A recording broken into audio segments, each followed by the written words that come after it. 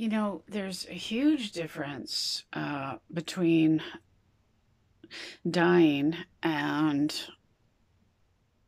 not being told what's wrong with you and being gaslighted.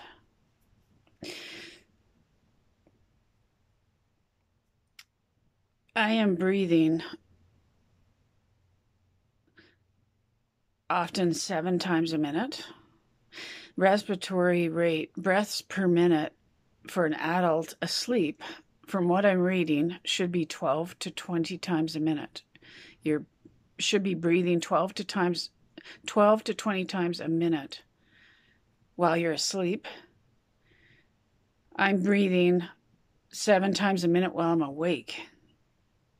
So when I'm asleep, I'm breathing even less.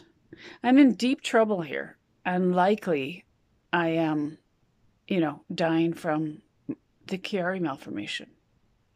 My respiratory drive is impaired.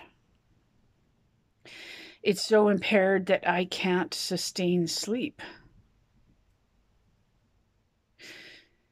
But there's a huge difference being told you have a disease and you're going to die. You have a high risk of dying in your sleep, or, you know, we could give you surgery, but we're not going to give you surgery. And you just eventually, I mean, it's hard to hear that news.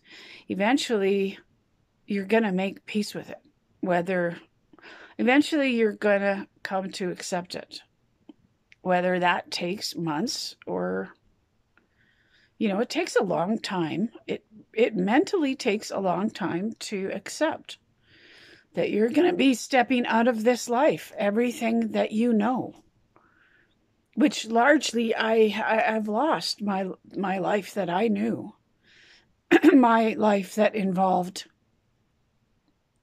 you know, being active and socializing and having friends and family and driving and entertainment and dancing and going out for drinks and going out for coffee and tending to my flowers and my garden and my yard and shoveling snow and mowing my lawn and all of that is gone. My life is gone. And dating and meeting new people and driving places and it's all gone. All of that is gone.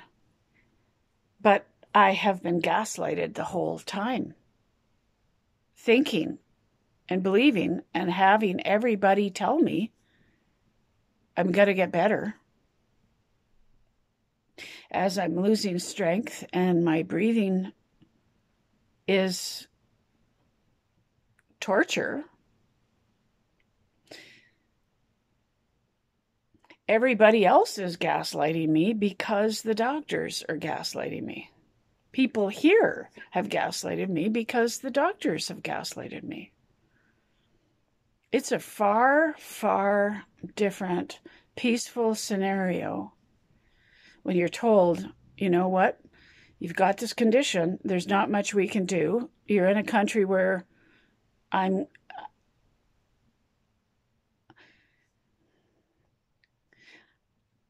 I I I don't understand what's happening here. I don't understand why I can't get the care I need. The solution would be the surgery, which is very costly. I'm not being offered that. I don't have the money to fly to the states. I don't have the wherewithal. I don't have a passport. I'm I'm ill. I can't get myself to Walmart. I, I'm ill. I'm weak. I'm sick. I don't sleep. I'm in pain.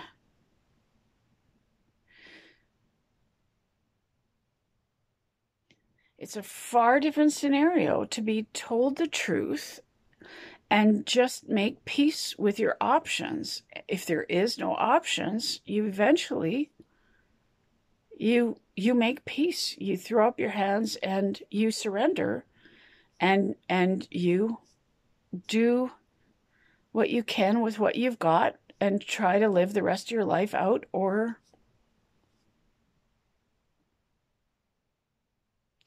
but to be gaslighted into your grave gaslighted continually gaslighted and i can see how and why there has been confusion for many doctors along the way Two and a half years ago, I looked like I was 35 years old and I looked like I had the world by the tail. I was sleeping three hours a night for seven years. Literally, my life was completely gone, but it didn't look like that when you looked at me. And this doesn't show up in blood work. It it might show up in blood work at the end when my my body is in crisis my oxygen is low.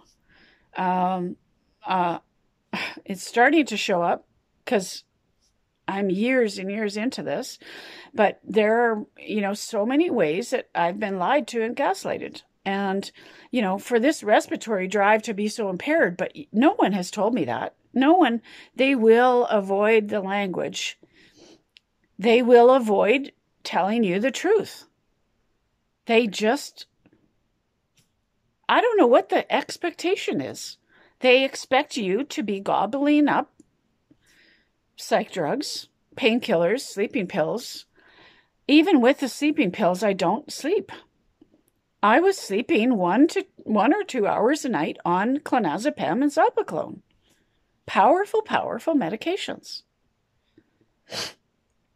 I think the expectation is for me to end my life. I think for no one to be offering me to, to sit down and have a an adult conversation and say and I don't even know if this is the truth about respiratory drive, but I'm guessing a conversation would go something like, you know, your respiratory drive is heavily impaired, presumably from brainstem compression, from your Chiari malformation.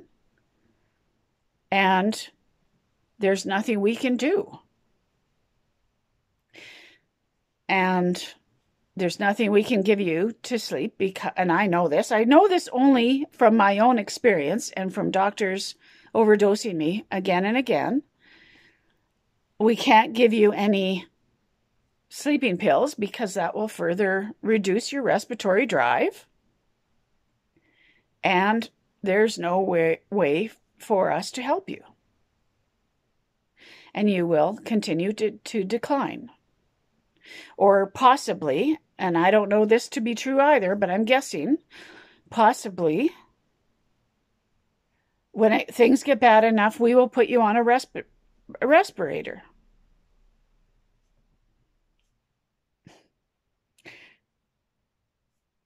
If that's the reality, I need to know that. I need to know the truth. I need to know. So is it a lack of courage or is it a continual is it a lack of courage for a doctor to tell me the truth or is it a continual gaslighting so that I am not demanding this expensive surgery because I'm in Canada and the medical system is different?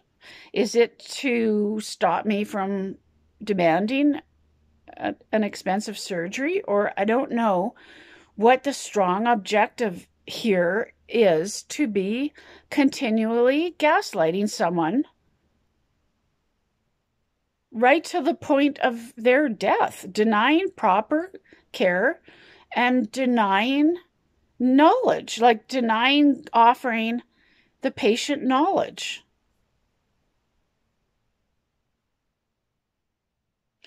it's way easier to be told the truth and you're you're going to die. This is degenerative. Eventually, you're going to have a heart attack or a stroke because you can't sustain life with sleeping 2 hours a night 365 days a year except you know once every 2 months you might sleep 4 hours you're going to eventually your body's going to break down you're going to have a heart attack or a stroke or eventually end up on a respirator. Why can't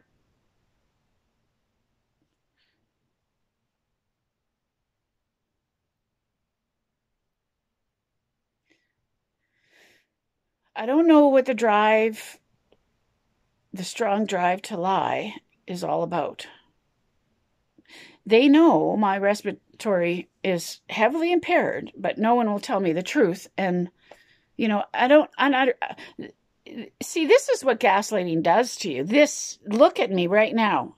My, everything that I'm going through. This is a person being gaslighted. This is a person eh, tremendously confused about being lied to. And, and that is the goal to put me in this mental state. That is the goal of the gaslighting to keep me guessing. Why do you want to achieve this state state in a in a person, in a patient? What's what's the objective? For me not to find out the truth. Why is there that strong objective? Is it so I don't demand surgery?